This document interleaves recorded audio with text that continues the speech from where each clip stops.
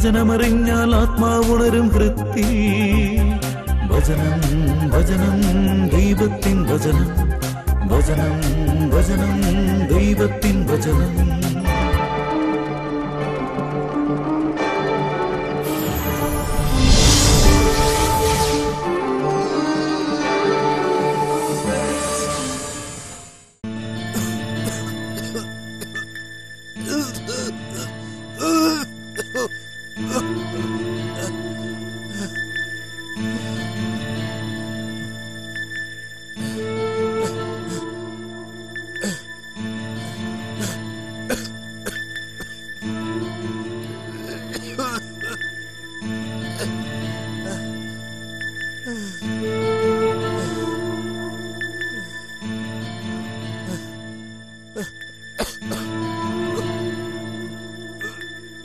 ഈ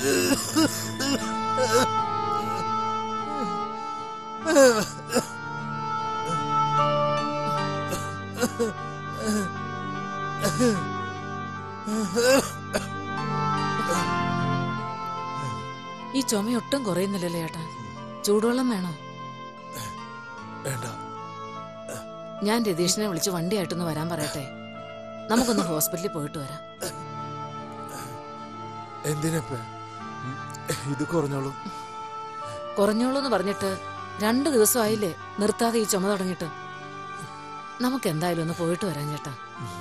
വേണ്ടെന്നേ. ഇന്നുകൂടി നോക്കാം. കുറഞ്ഞില്ലെങ്കിൽ നാളെ പോവാം. അല്ല നീ ഇതെവിടെയായിരുന്നു ഞാൻ എത്ര തവണ വിളിച്ചു? ഞാൻ അപ്പുറത്തുണ്ടായിരുന്നല്ലോ. ഗ്രേസി ആയിട്ട് സംസാരിക്കായിരുന്നു. എന്ത്? ഒന്നുമില്ല. ഓരോ കാര്യങ്ങൾ ഇങ്ങനെ പറയായിരുന്നു. ആ പിന്നെ ആ മാനുവൽ ടൗണിൽ പുതിയ കട തുടങ്ങിയെന്ന്. ഏത് മാനുവൽ? വേറെ ഏത് മാനുവൽ? അയാൾ തന്നെ. ആ നാശം പിടിച്ചവന്റെ വിശേഷം കേൾക്കാനാണോ? നീ അപ്പുറത്ത് പോയത്. അങ്ങനെയല്ല ചേട്ടാ. ഓരോന്ന് പറഞ്ഞു വന്നപ്പോ ഇക്കാര്യം പറഞ്ഞെന്നേ ഉള്ളൂ. ഗ്രേസിയുടെ ഭർത്താവ് തോമസ് ഒക്കെ കടയുടെ ഉദ്ഘാടനത്തിന് പോയിരുന്നത്രേ. അല്ലെങ്കിലും ദുഷ്ടന്മാരെ ദൈവം പന പോലെ വളർത്തുന്നാണല്ലോ എന്നെ ചതിച്ചുണ്ടാക്കിയ കാശുകൊണ്ടാ അവനിതൊക്കെ സമ്പാദിച്ചു കൂട്ടുന്നത്. അവന്റെയൊക്കെ അവസാനം പെട്ടെന്നായിരിക്കും. പ്രതീക്ഷിക്കാത്ത സമയത്ത് പ്രതീക്ഷിക്കാത്ത തരത്തിലായിരിക്കും അവന്റെയൊക്കെ നാശം. എത്രയൊക്കെ സമ്പാദിച്ചു കൂട്ടിയാലും ആയുസ് ഒടുങ്ങിയാ തീർന്നില്ലേ? അങ്ങനെയൊന്നും പറയല്ലേ ചേട്ടാ ശത്രു ആയാ കൂടി. ആരുടെയും നാശം നമ്മൾ ആഗ്രഹിക്കാൻ പാടില്ല. ഞാൻ ആഗ്രഹിക്കും. അവന്റെ നാശത്തിന് വേണ്ടി ഞാൻ പ്രാർത്ഥിക്കുകയും ചെയ്യും. അത്രയ്ക്കുണ്ട്. എനിക്ക് അവനോടുള്ള പക. എന്റെ ശരീരം അനുവദിക്കായിരുന്നെങ്കിൽ അവന്റെ അന്ത്യം എന്റെ കൈകൊണ്ടായേനെ. ഇപ്പൊ എനിക്ക് പ്രാർത്ഥിക്കാനല്ലേ പറ്റൂ? ഒന്നെനിക്ക് ഉറപ്പാ. അവന്റെ അവസാനം കണ്ടിട്ട് എന്റെ കണ്ണടയൂ. പ്രതികാരം ചെയ്യുന്നവനോട് കർത്താവ് പ്രതികാരം ചെയ്യും. അവിടുന്ന് അവന്റെ പാപം മറക്കുകയില്ല. ജീവിതാന്തം ഓർത്ത് ശത്രുത അവസാനിപ്പിക്കുക. നാശത്തെയും മരണത്തെയും ഓർത്ത് കൽപ്പനകൾ പാലിക്കുക. പ്രഭാഷകൻ ഇരുപത്തിയെട്ടാം അധ്യായം ഒന്നും ആറും വാക്യങ്ങൾ. ഒന്നും മിണ്ടാതിരിയേട്ടാ. അയാളെ മാത്രം കുറ്റം പറയാൻ പറ്റുമോ ചേട്ടന്റെ ഭാഗത്തുനിന്ന് തെറ്റ് സംഭവിച്ചിട്ടില്ലേ? എന്ത് തെറ്റ്? ചേട്ടൻ മദ്യപിക്കുമായിരുന്നു അയാൾ മദ്യപിക്കുമായിരുന്നില്ല എന്ന് കരുതി?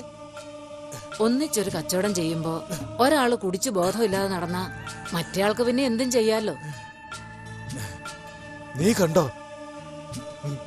കള്ളത്തരത്തിലൂടെ സമ്പാദിക്കുന്ന ഒന്നും ശാശ്വത ആവലടി അതിനെന്നോട് ദേഷ്യപ്പെടുന്ന എന്തിനാ? ചേട്ടന്റെ വർത്താനം കേട്ടാ തോന്നും. ഞാനാ ചേട്ടനെ പറ്റിച്ചെന്ന്. മാറങ്ങോട്ട്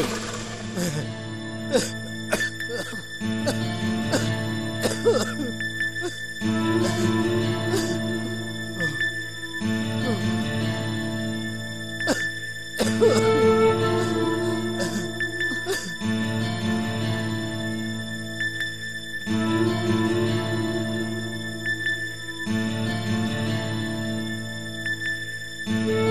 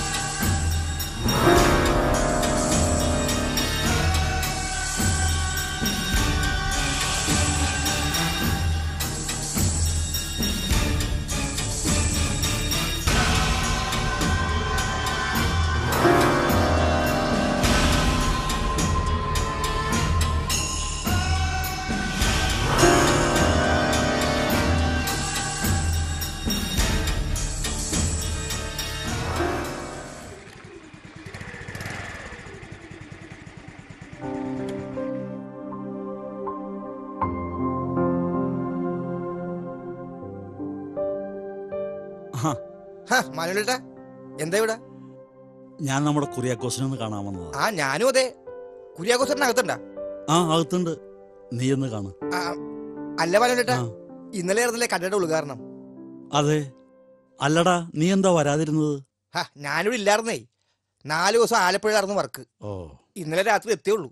ഉം. വന്ന വഴി ഞാൻ കടയിൽ കയറിയായിരുന്നു. പക്ഷെ ചേട്ടൻ അവിടെ ഉണ്ടായിരുന്നില്ലല്ലോ. ആ രാത്രി ഞാൻ മില്ലിലായിരുന്നു. എന്തായാലും കട ഉഷാറായി ചേട്ടാ. നമ്മുടെ ടൗണിൽ ഇത്രയും വലിയ തുണിക്കട വേറെ ഉണ്ടാ? വന്നവരൊക്കെ അത് തന്നെയാടാ പറഞ്ഞത്. എന്തായാലും തുടങ്ങിയപ്പോ വലിയൊരു കട തന്നെ തുടങ്ങാന്ന് വെച്ചു.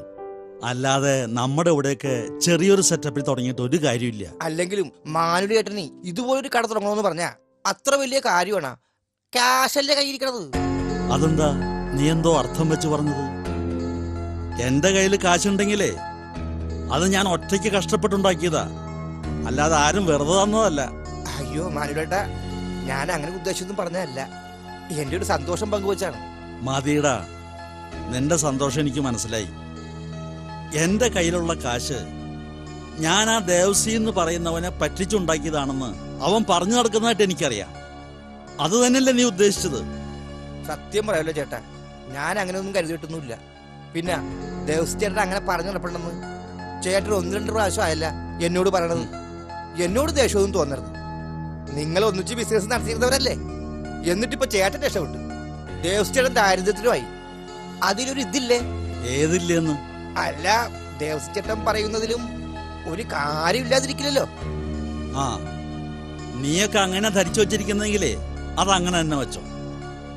നിന്നെ ഒന്നും ബോധിപ്പിക്കേണ്ട കാര്യം എനിക്കില്ലടാ. അല്ല ഞാൻ ചേട്ടൻ ചൂടാകാൻ വേണ്ടി പറഞ്ഞല്ല ആർക്കായാലും ഒരു സംശയം തോന്നൂലേ? എടാ ഞങ്ങൾ കൂട്ടുകച്ചവടം പിരിഞ്ഞതിന് ശേഷം ഞാൻ രക്ഷപ്പെട്ടത് എന്റെ കഠിന പ്രയത്നം കൊണ്ടാണ് അവൻ ഗതി പിടിക്കാതെ പോയത് അവന്റെ മദ്യപാനം കൊണ്ടും. അവന്റെ സ്വഭാവം എന്തായിരുന്നു എന്ന് നിനക്കൊക്കെ ഞാൻ പറഞ്ഞു തരേണ്ട ആവശ്യമില്ലല്ലോ? അവൻ ഈ കടപ്പിലാകുന്നതിന് മുമ്പ് വരെ നീയൊക്കെ അവനെ സ്വഭാവത്തോടെ കണ്ടിട്ടുണ്ടോ? അതില്ല. ആ. അങ്ങനെ ഒരുത്തൻ എന്ത് ചെയ്താലും ഗതി പിടിക്കുമെന്ന് തോന്നണ്ടോ? എന്നിട്ട് കുറ്റം മുഴുവൻ ബാക്കിയുള്ളവർക്കും. നിങ്ങൾ ദേഷിക്കുന്നവർക്ക് നന്മ ചെയ്യുവിൻ. ശപിക്കുന്നവരെ അനുഗ്രഹിക്കുവിൻ. അധിക്ഷേപിക്കുന്നവർക്ക് വേണ്ടി പ്രാർത്ഥിക്കുവിൻ. ലൂക്ക ആറാം അധ്യായം ഇരുപത്തിയേഴും ഇരുപത്തിയെട്ടും വാക്യങ്ങൾ. അതിപ്പോ ചേട്ടാ ഞാൻ അവനെ പറ്റിച്ചിട്ടാണത്രേ അവൻ രക്ഷപ്പെടാതെ പോയത്. അത് വിശ്വസിക്കാൻ നിന്നെ പോലെ കുറെ പേര്. ഞാനത് വിശ്വസിച്ചിട്ടൊന്നുമില്ല. ചുമ്മാ ചോദിച്ചാണ് പിന്നെ പിന്നെ ചേട്ടനൊരു കാര്യം മനസ്സിലാക്കണം. ചേട്ടനെ പറ്റി ഇങ്ങനെ ഒരു ആരോപണം ഉന്നയിക്കുന്നത് ഞാനോ നാട്ടുകാരോ ആരുമല്ല ഈ ദേവസ്ഥേട്ടൻ തന്നെയാണ്. അപ്പൊ അയാളെ കാര്യങ്ങൾ പറഞ്ഞ് മനസ്സിലാക്കേണ്ടത് ചേട്ടന്റെ ആവശ്യമാണ്. അല്ലെങ്കിൽ ഞാൻ അറിഞ്ഞതുപോലെ മറ്റുള്ളവർ ഈ കാര്യം അറിയൂലേ?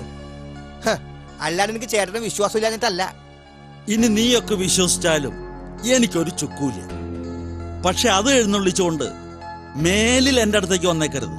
കേട്ടല്ലോ?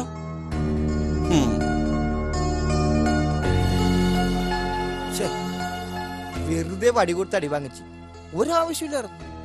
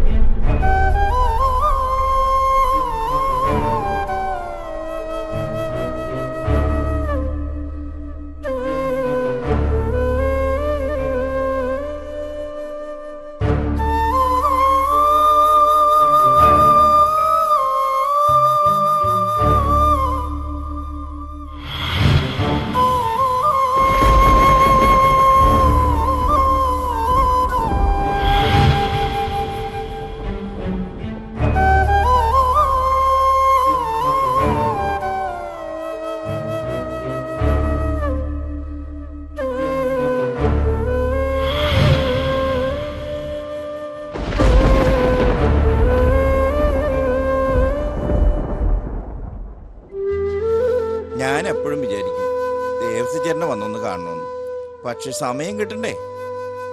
സാബുവിനിപ്പോ എവിടെയാ ജോലി? ഇവിടെയൊക്കെ തന്നെയാ. പക്ഷെ വർക്ക് കഴിഞ്ഞ് വരുമ്പോ ഒരു നേരാവും. അല്ല ദേവസ്ചേട്ടന്റെ അസുഖം ഇപ്പൊ എങ്ങനെയുണ്ട്? കുറവെന്ന് പറയാനായില്ല സാബു. ചികിത്സ നടക്കുന്നുണ്ട്. ഇപ്പോ മദ്യപാനമൊന്നുമില്ലല്ലോ അല്ലേ? ഏയ് അസുഖം വന്ന പിന്നെ മദ്യപിക്കാറില്ല. അല്ല ഞാൻ ചോദിച്ചതേ ഉള്ളൂ. മദ്യപാനം ഉണ്ടെങ്കിൽ അസുഖത്തിന് എത്ര മരുന്ന് കഴിച്ചാലും അതുകൊണ്ട് ഒരു കാര്യമില്ല അതിനാരാ മരുന്ന് കഴിക്കുന്നേ? ഒരുതരം വാശിയാ സാബു. മറ്റുള്ളവരോടുള്ള ദേഷ്യം സ്വന്തം ശരീരത്തോട് തീർക്കുന്നത് പോലെയാ. ചില സമയത്ത് ചേട്ടന്റെ പെരുമാറ്റം. എത്ര വിളിച്ചാലും ആശുപത്രി വരില്ല. വന്നാൽ തന്നെ ഡോക്ടർ കൊടുക്കുന്ന മരുന്ന് കഴിക്കില്ല. മുഴുവൻ സമയം മനസ്സിൽ വാശിയും ദേഷ്യവും ഒക്കെ മാത്രമേ ഉള്ളൂ. ദേഷ്യം എന്ന് പറഞ്ഞത് ആരോടാണെന്ന് എനിക്ക് മനസ്സിലായി. മാനുവലേറ്ററുമായിട്ടുള്ള പ്രശ്നം ഇതുവരെ തീർന്നില്ലല്ലേ? പ്രശ്നം തീർന്നിട്ട് വർഷം എത്രയായി സാബു? എല്ലാം തീർക്കാനല്ലേ അവർ കച്ചവടം പിരിഞ്ഞത്? പക്ഷേ സത്യം പറഞ്ഞ കച്ചവടം പിരിഞ്ഞപ്പം മുതലാ ചേട്ടന്റെ മനസ്സിൽ മാനുവലിനോടുള്ള ദേഷ്യം കൂടിയത്. അതെന്താന്ന് എനിക്ക് മനസ്സിലാകത്തെ. ദേവസ്യന്റെ പൈസ വല്ലതും ഈ മാനുവലേട്ടൻ പറ്റിച്ചതാണോ? അല്ല ദേവസ്യരൻ ഒന്ന് രണ്ട് തവണ എന്നോട് പറഞ്ഞിട്ടുണ്ടേ. സത്യത്തിൽ ഇക്കാര്യത്തിൽ പൂർണമായി ആരും കുറ്റപ്പെടുത്താൻ പറ്റില്ല സാബു. രണ്ടുപേരുടെ ഭാഗത്തും തെറ്റുണ്ട്. ഇവരൊന്നിച്ച് കച്ചവടം തുടങ്ങുമ്പോൾ രണ്ടാളും ഏറ്റവും അടുത്ത സുഹൃത്തുക്കളായിരുന്നു. ബിസിനസ് ഒക്കെ നന്നായിട്ട് പോയിക്കൊണ്ടിരിക്കുന്ന സമയത്താ ചേട്ടൻ മദ്യപാനം തുടങ്ങിയത്. അത് അതിരു വിട്ടപ്പോൾ ചേട്ടന് ബിസിനസ്സിൽ ശ്രദ്ധിക്കാൻ കഴിയാതെ നഷ്ടം വരാൻ തുടങ്ങി. അത് അവരുടെ ബിസിനസ്സിന് അപകടമാണെന്ന് മനസ്സിലാക്കിയപ്പോൾ മാനുവൽ മുൻകൈയെടുത്ത് ചേട്ടനുമായിട്ടുള്ള കൂട്ടുകച്ചവടം പിരിഞ്ഞു. ചേട്ടൻ ചോദിച്ച പണം കൊടുത്ത് മാനുവൽ ചേട്ടനെ ഒഴിവാക്കി. അതിനുശേഷം മാനുവലിന്റെ ബിസിനസ് വളരാൻ തുടങ്ങി. ചേട്ടൻ അതോടെ പൂർണമായും മദ്യത്തിനടിമയായി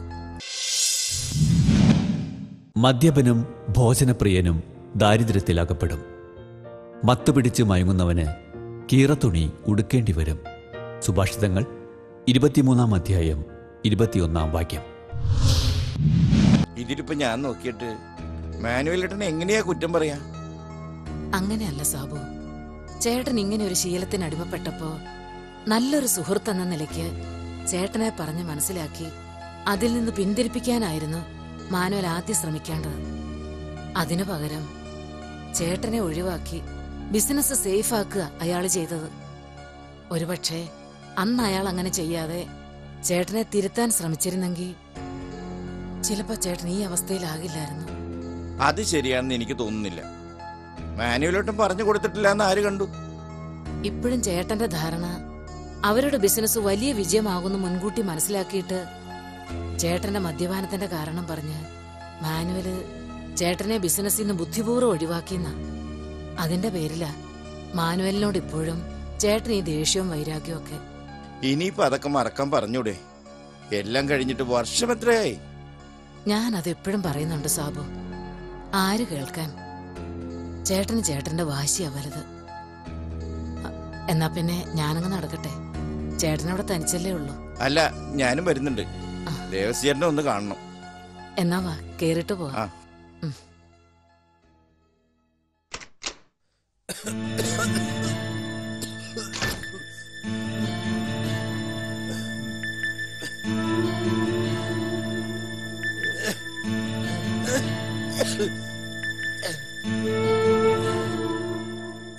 ഇതാരാ സാബുവോ? വാ ഇരിക്കി. പള്ളിന്ന് വരുന്ന വഴിയാ സാബുവിനെ കണ്ടത്. അതെ ചേട്ടന്റെ വിശേഷങ്ങൾ അറിഞ്ഞപ്പോ ഒന്ന് കേറി കണ്ടിട്ട് പോവാന്ന് കരുതി. ആ അത് നന്നായി. നിനക്ക് ഇടയ്ക്കൊക്കെ ഈ വഴിയൊന്നും വരാൻ പാടില്ലേ? ഞാനിവിടെ ആരോടും മിണ്ടാനും പറയാനും ഇല്ലാതെ വെറുതെ സമയം കളയാം. ഇപ്പൊ എങ്ങനെയുണ്ട് ചേട്ടാ? എവിടെ? ഇത് എന്നെ കൊണ്ട് പോവുള്ളൂന്നാ തോന്നണേ. കണ്ടോ സാബു? ഇങ്ങനെയുള്ള വർത്താനങ്ങളെ വായെടുത്താ പറയൂ. നമ്മളൊന്നും ചിന്തിക്കുന്നതോ ആഗ്രഹിക്കുന്നതോ ആണോ നടക്കുന്നത്? അല്ല എല്ലാത്തിന്റെ ഒടുവിലത്തെ തീരുമാനം അത് ദൈവത്തിന്റെയാ നീ എന്താ? എന്റെ അടുത്ത് വചനപ്രഘോഷം നടത്താൻ വന്നിരിക്കുന്നതാണോ? ചേട്ടാ ചേട്ടൻ എന്തൊക്കെയായി പറയുന്നത്? കാര്യം? എടാ സാബു എന്നെയല്ല നീ ഇതൊക്കെ പറഞ്ഞ് മനസ്സിലാക്കേണ്ടതേ ആ മാനുവലില്ലേ? ആ കള്ളനെയൊക്കെയാ. വലിയ കടമുതലാളിയായിട്ട് വിലസയല്ലേ? ആ വഞ്ചകൻ. വീട്ടില്ല ഞാൻ അവനെ. ചേട്ടാ അതൊക്കെ അങ്ങ് മറക്ക്. എന്നിട്ട് ആ മാനുവലിയേട്ടനോട് ക്ഷമിക്കും. അല്ലാതെ ഇങ്ങനെ പ്രതികാര ചിന്ത മനസ്സിൽ വെച്ചുകൊണ്ടിരുന്ന രോഗം മാറില്ല മനസ്സമാധാനവും ഉണ്ടാവില്ല. നിർത്തടാ. അങ്ങനെ മുഴുവനായിട്ട് ക്ഷമിക്കാനേ. ഞാൻ ദൈവമൊന്നല്ലടാ. മനസ്സിലായോ നിനക്ക്? നീ പോവാൻ നോക്ക്. ഒരു പ്രാർത്ഥനക്കാരൻ വന്നേക്കണു. അയൽക്കാരനെതിരെ ഏഷണി പറയുന്നവനെ ഞാൻ നശിപ്പിക്കും. അഹങ്കാരിയെയും ഗർവിഷ്ഠനെയും ഞാൻ പൊറുപ്പിക്കുകയില്ല. സങ്കീർത്തനങ്ങൾ നൂറ്റിയൊന്നാം അധ്യായം അഞ്ചാം വാക്യം.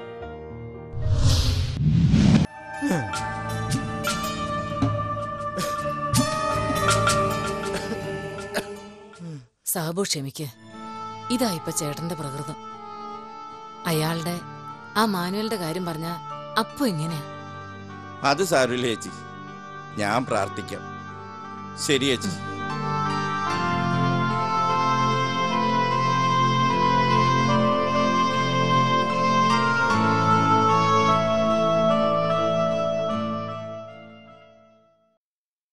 മാനുവേട്ടാ ആ. എന്താ നീ ഒന്ന് പുറത്തേക്ക് ഏ? എന്താ ഏട്ടാ പുറത്തേക്ക് വിളിക്കണത്? നമുക്ക് അകത്തേക്ക് ഇരിക്കാം. ഏയ് വേണ്ട. അത് വേണ്ട. ആ ചേട്ടനെന്താ എന്റെ വീട്ടിൽ? അതെന്താടാ? എനിക്ക് നിന്റെ വീട്ടിൽ വരാൻ പാടില്ലേ? അല്ല എന്തെങ്കിലും അത്യാവശ്യമായിട്ട് ചേട്ടൻ എന്റെ വീട്ടിലേക്ക് വരൂല്ലോ ഒരു അത്യാവശ്യം ഉണ്ടെന്ന് കൂട്ടിക്കോ. എന്താ ഏട്ടാ? എടാ സണ്ണി. കഴിഞ്ഞ ദിവസം നമ്മൾ ദേവസയുടെ കാര്യം സംസാരിച്ചില്ലേ? ഞാൻ അവന്റെ വീട് വരെ ഒന്ന് പോയാലോ എന്ന് ആലോചിക്കുക. ഏ? വഴക്കുണ്ടാക്കാനൊന്നും അല്ലടാ. അവനോട് സംസാരിച്ച തീരാവുന്ന പ്രശ്നമാണെങ്കിൽ അതങ്ങ് തീരട്ടെ. അവൻ ഇങ്ങനെയൊക്കെ പറയുന്നെന്ന് അറിഞ്ഞിട്ട് എന്റെ മനസ്സിനൊരു സ്വസ്ഥതയില്ലടാ. ഒറ്റയ്ക്ക് വേണ്ട. നീയും കൂടെ വരുമെന്ന് ചോദിക്കാനാണ് ഞാൻ വന്നത്. ഞാൻ എപ്പോഴേ റെഡി ചേട്ടൻ എപ്പോ പോണെന്ന് ഇങ്ങോട്ട് പറഞ്ഞാ മതി. ഏതായാലും ചേട്ടന്റെ ഈ തീരുമാനം അത് നന്നായി ചേട്ടാ. എടാ ഒരു ജീവിതമല്ലേ നമുക്കൊക്കെ ഉള്ളൂ? അത് പഴി പറഞ്ഞും പക വെട്ടിയും തീർക്കണം. നല്ല മനുഷ്യൻ തന്റെ ഹൃദയത്തിലെ നല്ല നിക്ഷേപത്തിൽ നിന്ന് നന്മ പുറപ്പെടുവിക്കുന്നു. ചീത്ത മനുഷ്യൻ തിന്മയിൽ നിന്ന് തിന്മ പുറപ്പെടുവിക്കുന്നു. ഹൃദയത്തിന്റെ നിറവിൽ നിന്നാണല്ലോ അധരം സംസാരിക്കുന്നത്. ലൂക്ക ആറാം അധ്യായം നാൽപ്പത്തിയഞ്ചാം വാക്യം. ചേട്ടൻ വന്നേ. ഇത് പിന്നത്തേക്ക് വെക്കണ്ട. നമുക്ക് ഇപ്പൊ തന്നെ പോയി കളയാം. ചേട്ടൻ വന്നിങ്ങട് വായിങ്ങട്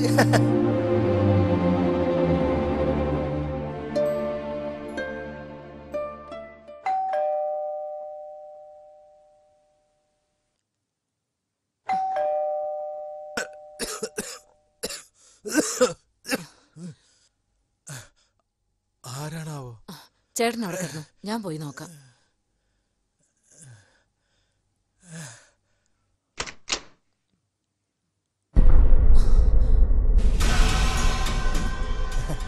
ദേവസിയില്ലേ ഒന്ന് വിളിക്കാം.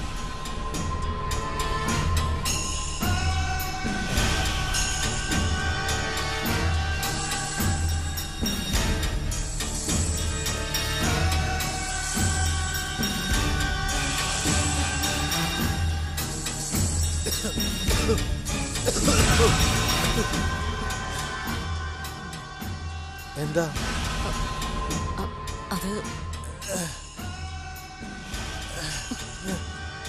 എന്താന്ന്?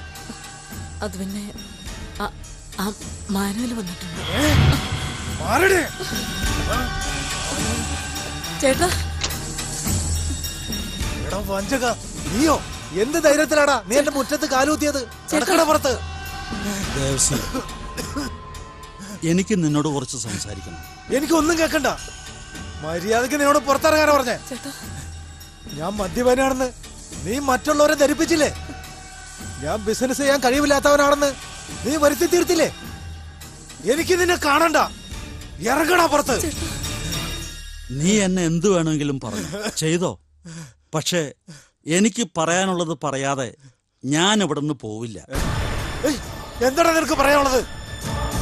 എന്നോട് ഇത്രയൊക്കെ ചെയ്തിട്ടും ഇനി നിനക്ക് പറയാനുള്ളത് ഞാൻ കേൾക്കണോ? ദേവസി ഞാൻ നിന്നോട് എന്ത് ചെയ്തെന്ന? നമ്മൾ ഒരുമിച്ച് ഒന്നിച്ച് നന്നായി പോവില്ല എന്ന് കണ്ടപ്പോൾ നിന്റെ സമ്മതത്തോടെ നമ്മുടെ കൂട്ടുകച്ചവടം നമ്മൾ പിരിഞ്ഞു നിന്റെ മുടക്കു മുതലും കൂടാതെ നീ പറഞ്ഞ തുകയും ഞാൻ തന്നില്ലേ? പിന്നെ ഞാൻ നിന്നെ ഏത് രീതിയിലാണ് പറ്റിച്ചത്? വഞ്ചിച്ചത്? ദൈവത്തെ മനസ്സിൽ ധ്യാനിച്ച് നെഞ്ചിൽ കൈവച്ച് ആത്മാർത്ഥമായിട്ട് നിനക്ക് പറയാൻ പറ്റുമോ നിന്റെ പണം ഞാൻ പറ്റിച്ചെടുത്തിട്ടുണ്ടെന്ന്? അങ്ങനെ പറ്റിച്ചെടുത്തിട്ടുണ്ടെങ്കിൽ നിന്റെ കയ്യിൽ നിന്ന് പറ്റിച്ചെടുത്തതിന്റെ ഇരട്ടിയായിട്ട് തിരിച്ചു തരാൻ ഞാൻ തയ്യാറാണ്. ദയവ് ചെയ്ത് ഞാൻ ചെയ്യാത്ത കുറ്റങ്ങൾ നീ എന്റെ മേലെ ആരോപിക്കരുത്. അതെനിക്ക് സഹിക്കാൻ പറ്റില്ലടാ. ഇതിൽ കൂടുതൽ ഒരു സുഹൃത്തെന്ന നിലയിൽ ഞാൻ എന്താണ് പറയേണ്ടത്?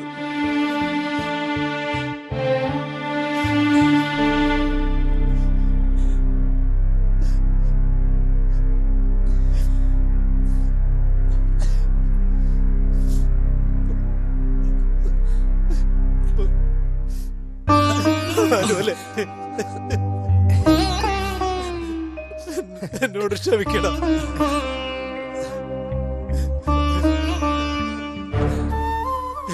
കുറ്റങ്ങൾ മറയ്ക്കാൻ ഞാൻ നിന്നിൽ പഴിചാരി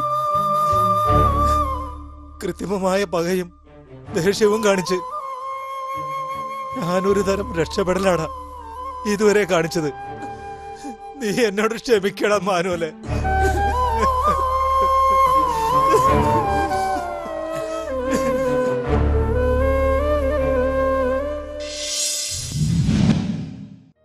ദൈവത്തെ സ്നേഹിക്കുന്നവർക്ക് അവിടുത്തെ പദ്ധതി അനുസരിച്ച് വിളിക്കപ്പെട്ടവർക്ക് അവിടുന്ന് സകലവും നന്മയ്ക്കായി പരിണമിപ്പിക്കുന്നു. റോമ എട്ടാം അധ്യായം ഇരുപത്തിയെട്ടാം വാക്യം. നിങ്ങളുടെ വിലയേറിയ അഭിപ്രായങ്ങളും നിർദ്ദേശങ്ങളും ഞങ്ങളെ അറിയിക്കുക. ദി പ്രൊഡ്യൂസർ വചനം പറയുന്നത് divine vision divine retreat centre Muringoor P O Chalakudy. Six eight zero three zero nine. Phone double eight nine one nine five two six double zero email വചനം പറയുന്നത് അറ്റ് ജിമെയിൽ ഡോട്ട് കോം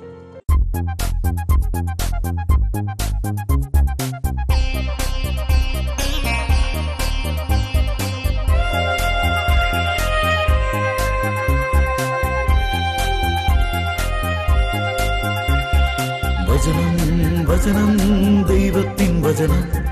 നന്മകൾ ചെയ്യാൻ അറിയൂ വചനം. വചനമറിഞ്ഞാൽ ആത്മാവുണരും ഹൃത്തി വചനം വചനം ദൈവത്തിൻ വചനം. വചനം വചനം ദൈവത്തിൻ വചനം.